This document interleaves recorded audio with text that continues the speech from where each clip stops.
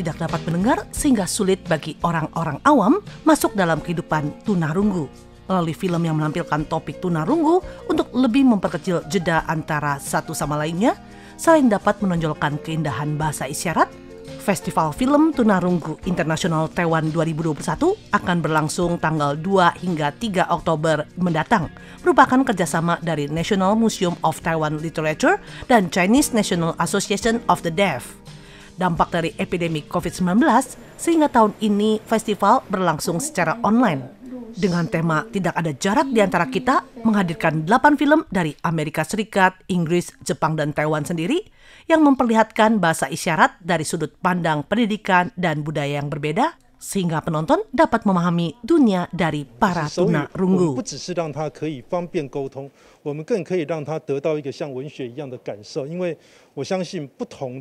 不只是让他可以方便沟通，我们更可以让他得到一个像文学一样的感受，因为我相信不同的创作者他所表达的口语一定有不同的美感。那我们就希望说呢，手语世界里面也可以把这些美感呢都可以保存下来。